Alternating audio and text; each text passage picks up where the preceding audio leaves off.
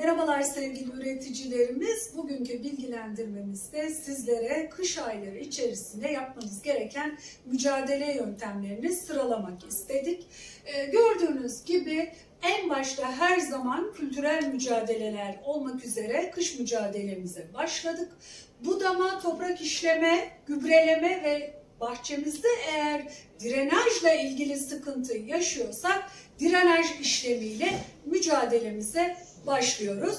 Arkasından mekanik mücadele dediğimiz özellikle Akdeniz meyve sineği ve zeytin sineği gibi zararlılarda yere dökülen meyvelerin toplanması, e, budama dediğimizde budama artıklarının yok edilmesi gibi uygulamalarda mekanik mücadeleye girmektedir.